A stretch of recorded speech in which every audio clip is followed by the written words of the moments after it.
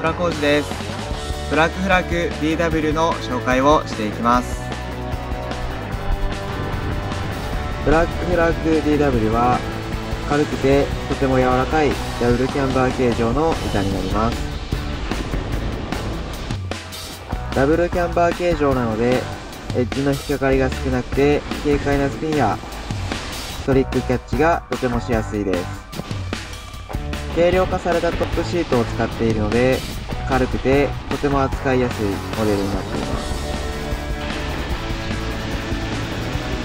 これからステップアップしていきたいという方に最適なボードに仕上がっていますので